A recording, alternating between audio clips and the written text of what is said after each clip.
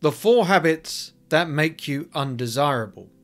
Stick around as I'll reveal four habits that can make you come across more unattractive to other people in general and overall.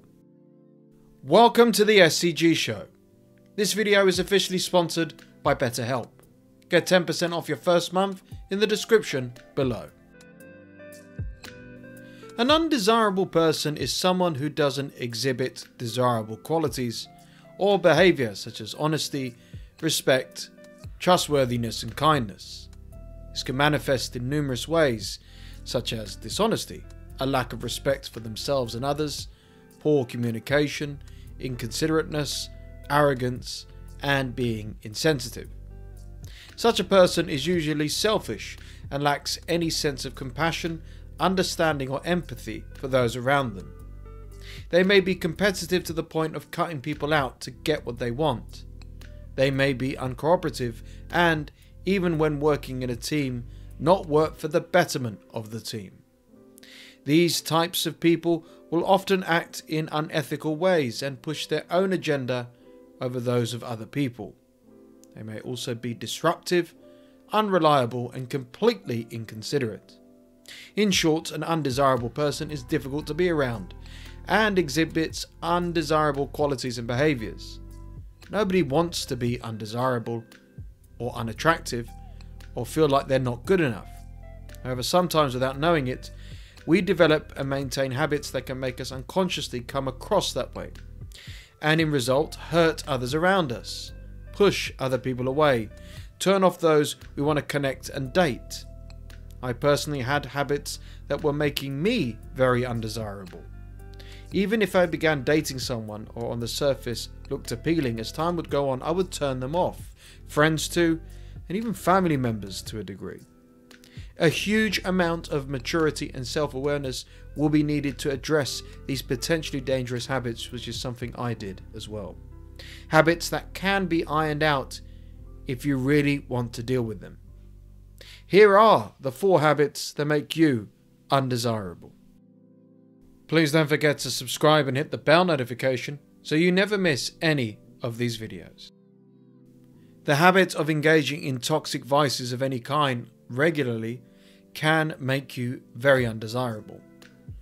There's a young man I know who's very handsome, has a great job, and his life together on the surface.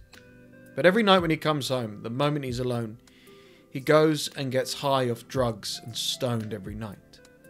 The moment any woman gets to know him personally, seeing him do this, no matter what, and wittingly, they get turned off. You're a drug addict, they'd say to him. No, I'm a functioning drug addict, he would argue. It's no wonder that the smell of drugs and that being his way of winding and relaxing would make him undesirable. He's never had a girlfriend, and if he carries on this way, he never will. I can relate to this young man in a similar but different way. I suffered from a gambling addiction for 14 years. I kept gambling many times a secret. Hardly anyone knew it because I was ashamed and embarrassed. Naturally, as I got older and the more relationships I had, that's when the addiction started to come out of the woodwork. When I would force myself to gamble. I'd make a night out about gambling. I'd make friends go to the casino. I would convince them how it was a fun place to hang out. But I was obviously wrong. Dead wrong. Once in a blue moon, gambling and a casino trip may seem like a special moment and an event to have.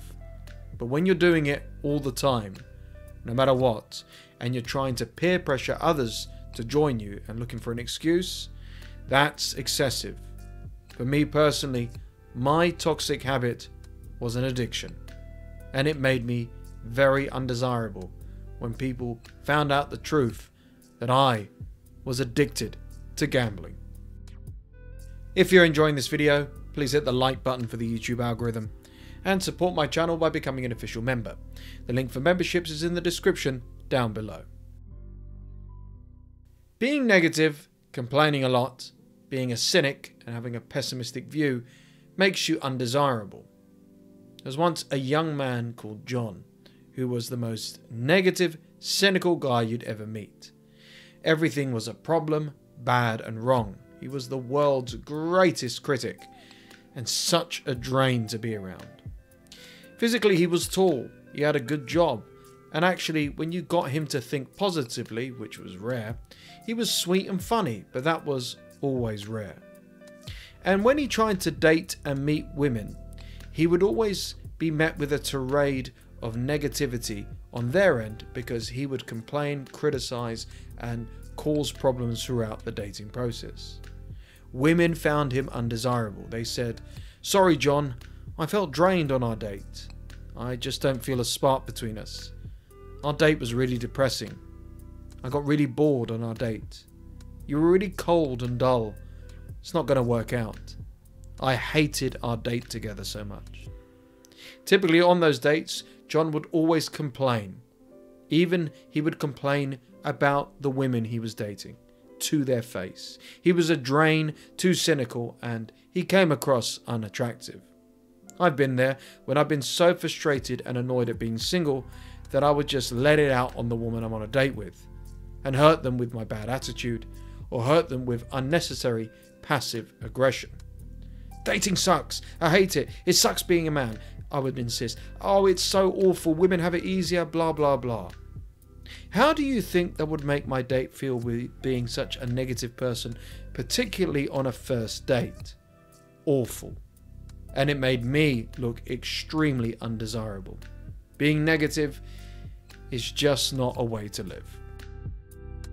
Thank you to BetterHelp for sponsoring this video. I've personally used BetterHelp and found it to be so effective for turning my life around for the better. Now, BetterHelp is therapy online, which offers weekly sessions via phone, video, and live chat. You get matched with a therapist according to where you are, what you're looking for, and what you're needing help with. If it's not a great fit, you can switch therapists easily.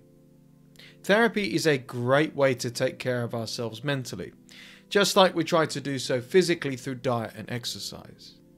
Online therapy can teach you valuable life coping skills and support you amazingly when tough times occur. Click the link below or visit betterhelp.com forward slash SCG show for 10% off your first month of online therapy today. Go ahead and take that first step to turning your life around with BetterHelp. Any person believing they are entitled to special treatment based on their own personal achievements or superiority perceived by them is really unattractive and it makes them undesirable. And I can't stand this habit. People nowadays have a false sense of ego and self, particularly young people who've convinced themselves arrogance is attractive Whilst it's very good to be confident and believe in yourself, I cannot find any person desirable, warm, or connect with anyone who genuinely acts this way. And as someone who dated a narcissist and had a very toxic relationship, it really turned me off such behaviors and people in general. The last time I was single and fully aware of the toxic traits and personalities to avoid, it astounded me how many single women were so undesirable to me. Yes, physically they were stunning, on the surface attractive, dressing attractive, appearing very desirable.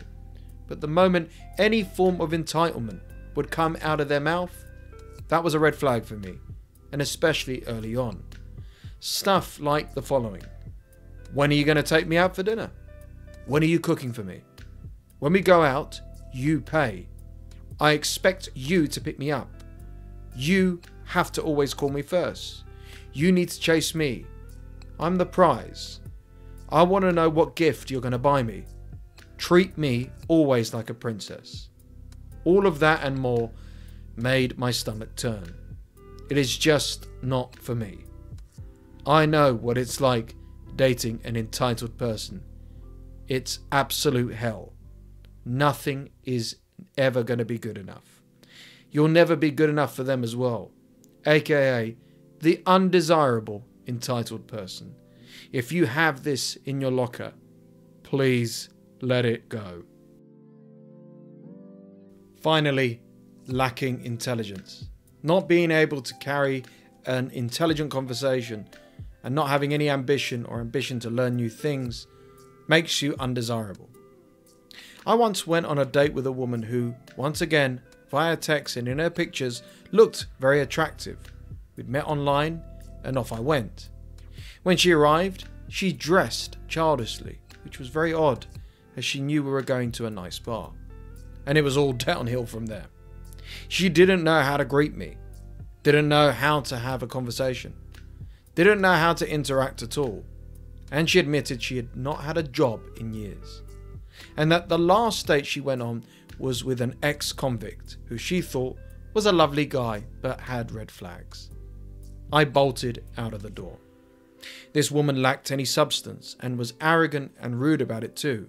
I'm special. You're lucky to be here with me, she said. Actually, I was lucky to get out of the door, more like. With the access of the internet, people should spend more time expanding their knowledge and wisdom rather than wasting it on social media doing nothing and losing more brain cells. A lack of intelligence and even basic logic is, in my humble opinion, undesirable.